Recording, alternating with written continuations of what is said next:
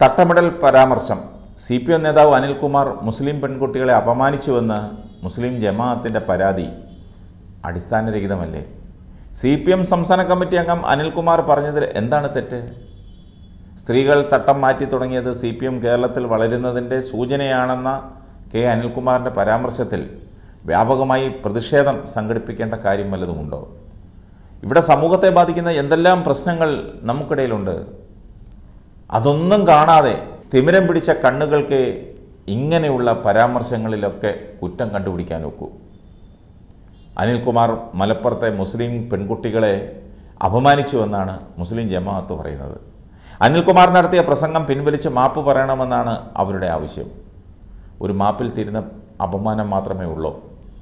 അങ്ങനെയെങ്കിൽ ആരെല്ലാം മാപ്പ് പറയണം? എല്ലാ ദിവസവും മാപ്പിന്റെ ഘോഷയാത്രയായിരിക്കും. മുസ്ലിം സമുദായം വിദ്യാഭ്യാസ രംഗത്തടക്കം നേടിയെടുത്ത മുന്നേറ്റത്തെക്കുറിച്ച് ബോധ്യമുള്ള ജമാഅത്തുകാർ ഒരിക്കലും അങ്ങനെ ഒരാവശ്യം ഉന്നയിക്കില്ല. വെറുതെ ഒരു വിവാദത്തിന് തിരികൊളുത്തില്ലായിരുന്നു. തിരുവനന്തപുരം നിശാഗന്ധി ഓഡിറ്റോറിയത്തിൽ മനുഷ്യത്വ വിരുദ്ധ തീവ്ര നവലിബറൽ ഫാസിസ്റ്റ് പ്രചാരകനായ രവിചന്ദ്രന്റെ നേതൃത്വത്തിലുള്ള എസൻസ് നടത്തിയ പരിപാടിയിലെ പ്രസംഗത്തിലാണ് അനിൽകുമാർ ഈ പരാമർശം നടത്തിയത്. പെൺകുട്ടികളും സ്ത്രീകളും തട്ടമിടുന്നത് വിശ്വാസത്തിന്റെ ഭാഗമാണ്. എന്നാൽ വിശ്വാസമുള്ള പല പെൺകുട്ടികളും സ്ത്രീകളും തട്ടം ഇടാറില്ലെന്നുള്ളത് ശരിയല്ലേ? തട്ടമിടാത്ത പെൺകുട്ടികൾ വിശ്വാസമില്ലാത്തവരാണെന്ന് പറയാൻ പറ്റുമോ? വിശ്വാസമുണ്ടെങ്കിലും താല്പര്യമില്ലാത്തവർ തട്ടം ധരിക്കാറില്ല. അതൊരു വിവാദമാക്കി കൊണ്ടുവരുന്നതിൽ എന്ത് സന്ദേശമാണ് സമൂഹത്തിന് നൽകുന്നത്? മുസ്ലിം സമുദായത്തിന്റെ വക്താക്കളെന്ന് അവകാശപ്പെടുന്ന സംഘടനകൾ ആവശ്യമില്ലാത്ത വിവാദത്തിനാണ് തിരികൊളുത്തിയതെന്നാണ് പല മുസ്ലിം സമുദായ നേതാക്കളും പറഞ്ഞത്.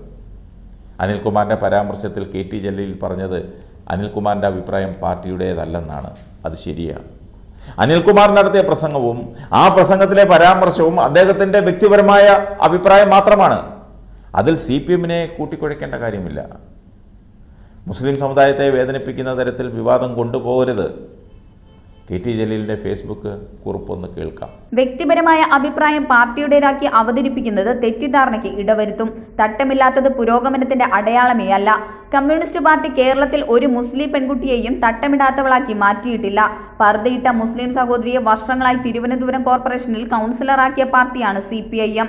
സ്വതന്ത്ര ചിന്ത എന്നാൽ തട്ടമിടാതിരിക്കലാണെന്ന് ആരെങ്കിലും തെറ്റിദ്ധരിച്ചതിനെ പഴിചാരി കമ്മ്യൂണിസ്റ്റ് പാർട്ടിയെ പ്രതിക്കൂട്ടിലാക്കാൻ ആരും ശ്രമിക്കേണ്ട. ഒരു വ്യക്തിയുടെ അബദ്ധം ഒരു പാർട്ടിയുടെ തീരുമാനമാക്കി അവതരിപ്പിക്കാൻ ശ്രമിക്കുന്നത് തികഞ്ഞ വിവരക്കേടാണ്. കാള പെറ്റു എന്ന് കേൾക്കുമ്പോഴേക്ക് കയറെടുക്കുന്ന പ്രവണത ശരിയല്ല.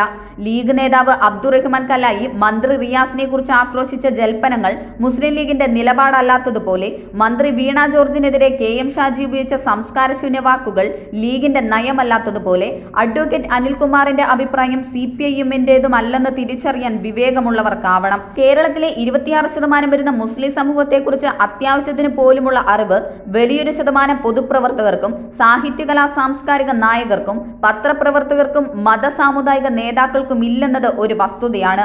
അതുകൊണ്ടാണ് ഇത്തരത്തിലുള്ള പിശകുകൾ പലപ്പോഴും സംഭവിക്കുന്നത്. അവർ ഏത് രാഷ്ട്രീയ ചേരിയിൽപ്പെട്ടവരാണെങ്കിലും ശരി. ഒരു ജനവിഭാഗത്തിന്റെ വൈകാരിക പ്രശ്നങ്ങളിലും ശരിയായ ബോധ്യത്തിന്റെ അടിസ്ഥാനത്തിലല്ലാതെ രാഷ്ട്രീയ നേതാക്കളും പൊതുപ്രവർത്തകരും പ്രതികരിക്കരുത്.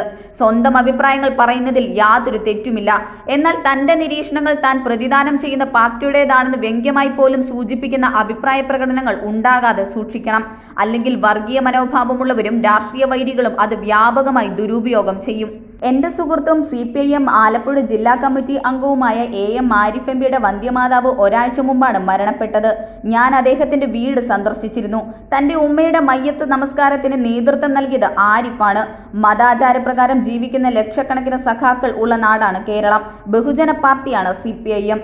അത് മറന്ന് ചില തൽപര കക്ഷികൾ അഡ്വക്കേറ്റ് അനിൽകുമാറിന്റെ വ്യക്തിപരമായ നിരീക്ഷണം സി പി ഐ വരുത്തി തീർത്ത് വിശ്വാസികളായ മുസ്ലിം വിഭാഗത്തിനിടയിൽ പ്രചരിപ്പിക്കുന്നത് മാന്യതയ്ക്ക് ചേർന്നതല്ല ഞങ്ങളുടെ മകൾ Sumayya Begum M B B S പൂർത്തിയാക്കി ഡോക്ടറായി. അന്തമാനിലെ പ്ലോട്ട് ബെയറിലെ കേന്ദ്ര സർക്കാർ മെഡിക്കൽ കോളേജിലാണ് അവൾ പഠിച്ചത്. നല്ല മാർക്കോടെ വിജയിച്ചു. ഞാനും ഭാര്യയും സുമയ്യ കൂട്ടാനും രണ്ടായിരത്തി പതിനേഴ് ബാച്ചിന്റെ ഫെയർവെൽ സെറിമണിയിൽ പങ്കെടുക്കാനുമാണ് പോർട്ട് ബ്ലെയറിൽ എത്തിയത്. ചടങ്ങിന് സ്വാഗതം പറഞ്ഞത് സുമയ്യാണ്. തട്ടമിട്ട അവൾ പുരോഗമന ചിന്തയിൽ ഒട്ടും പിന്നിലല്ല. വിദ്യാഭ്യാസമുള്ള തട്ടമിട്ട തലമുറയാണ് മലപ്പുറത്തെ പുരോഗമന പ്രസ്ഥാനത്തിന്റെ കരുത്ത്. കേട്ടല്ലോ. കെ ടി ജലീലിന്റെ കുറിപ്പ് എ എം ആരിഫ് എം പിയും അത് ഷെയർ ചെയ്തിട്ടുണ്ട്.